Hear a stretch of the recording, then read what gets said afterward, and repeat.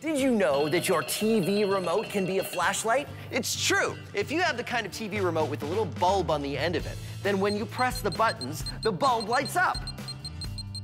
Yeah, I, I know what you're thinking. You're thinking, Phil, wait a minute, the bulb did not light up, and I've never seen the bulb on my TV remote light up when I press the buttons. Well, that's because your TV remote works on infrared, which is a kind of light you can't see, but you might be able to see it with a camera. If you have a digital camera or a camera on your phone, Ah, now you can see. See?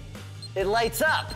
And because infrared light works the same way as visible light, in that it will bounce off a mirror, here's an experiment you can do at home. Bounce the light off your TV remote off a mirror and turn on and off your television. Check this out. You get a mirror, set it up just right, and then aim the remote at the mirror, and it turns off the television. Pretty cool, right?